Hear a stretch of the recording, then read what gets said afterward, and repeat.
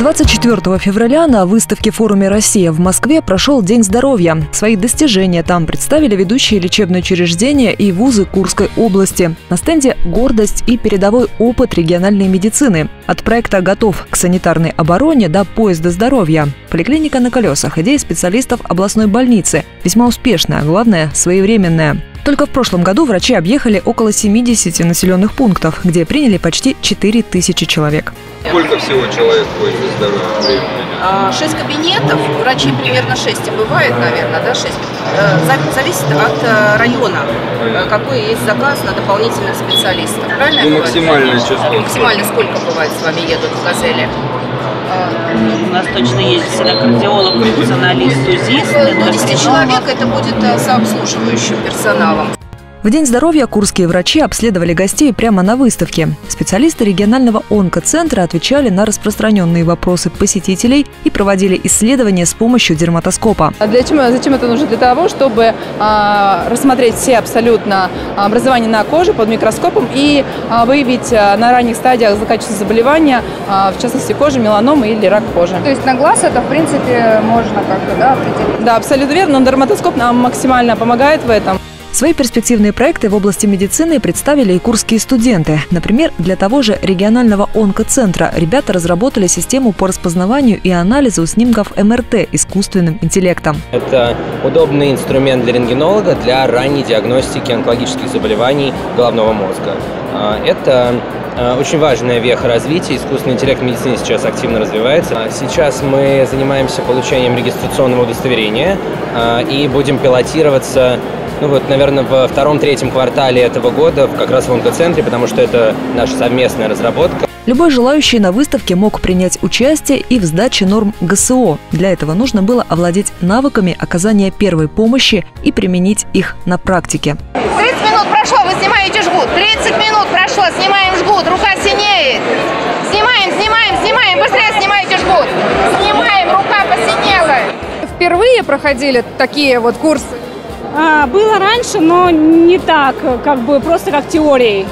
Поэтому тут э, более на практике и более, когда тебя подгоняет, и вот это все экстремально, теряешься и понимаешь, что надо более лучше узнавать. Это очень хорошая тема. Наш э, проект, э, первый, наверное, в Курской области, это учение по оказанию первой медицинской помощи при необходимости. Тем более наш регион является приграничным, и, конечно, знание азов оказания первой медицинской помощи – это основное для спасения людей. На Дне здоровья губернатор Роман Старовойт отметил, таких высоких достижений, как в последние годы, в сфере здравоохранения куряне не добивались никогда. Однако многое зависит и от самих жителей. Любую болезнь легче предупредить, чем потом лечить. И здесь огромную роль играет диспансеризация. Пройти ее гораздо быстрее и в комфортных условиях теперь смогут жители Обаянского района. Здесь возвели новое здание взрослой поликлиники при ЦРБ. Раньше медицинскую помощь жителям Обаянского района оказывали в приспособленных помещениях. Здесь размещались 28 зданий, большая часть из которых была построена во второй половине 19 века. Новая поликлиника вместила в себя все необходимое. В смену здесь готовы принять до 250 человек. А общая площадь здания составляет 8 тысяч квадратных метров. Масштаб впечатляет. За красивым фасадом функциональные кабинеты с современным оборудованием. Цифровые флюорограф, рентген и маммограф. Качественное оснащение будет и в распоряжении узких специалистов. Так теперь выглядит стоматологический кабинет. С помощью радиовизиографа врач сможет следить за процессом лечения в режиме реального времени. Важно, что простаивать аппараты точно не будут. Штат сейчас поликлиники укомплектован на 97%. Принципе, узкие специалисты, которые будут работать на данном оборудовании, они имеются, они отучены э, и готовы приступить к работе. В новой поликлинике удобная навигация. Принципы перемещения по зданию выстроены в соответствии с системой 5С. К примеру, кабинет травматолога с учетом состояния его посетителей расположен на первом этаже. Разведение потоков, то есть пациенты, которые идут э, на диспансеризацию, э, температурящие пациенты, э, также маломобильные пациенты, то есть они идут по своему пути, то есть они не соприкасаются друг с другом, вот, и идут непосредственно в тот кабинет, в то отделение, которое, где должна оказаться или помощь, или консультация данному пациенту. Маломобильным посетителям найти нужный кабинет помогут тактильная плитка и голосовой помощник.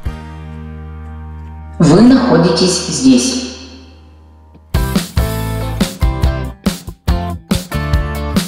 24 февраля официальный старт работе медучреждения из Москвы с выставки форума «Россия». Далее министр здравоохранения России Михаил Мурашко, вице-премьер Татьяна Голикова и губернатор Роман Старовойт. Реализация проекта обошлась в 877 миллионов рублей, почти 540 из которых из резервного фонда правительства. Огромные слова благодарности нашему президенту, правительству Российской Федерации. Татьяна Алексеевна, вам – Михаил Альбертович, вам и всей команде Министерства здравоохранения России за поддержку, потому что были выделены дополнительные финансовые средства из федерального бюджета.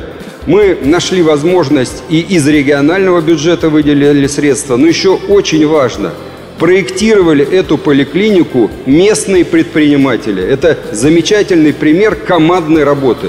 В новой поликлинике предусмотрена женская консультация, отделение эндоскопической и ультразвуковой диагностики, хирургический блок, актовый зал. Ну, наконец-то мы дождались. Недолго пришлось ждать. В течение года была построена наша красавица. Э, конечно, очень все рады, счастливы. Проект Обаянской поликлиники высоко оценили в Минздраве России. Его планируют сделать типовым для других регионов.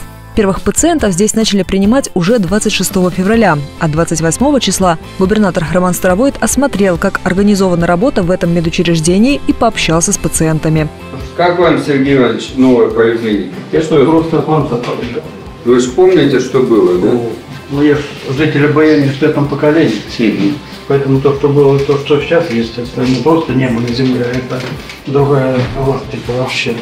Так что от жителя Баяни Спасибо вам большое. Спасибо вам. Лично вам, вашей команде, что вы ее смогли сформировать. И что люди работают, но я не знаю, наверное, 25 часов в сутки это минимум, как ты видишь. Так что большущее вам спасибо. Спасибо. Теперь главное не болеть.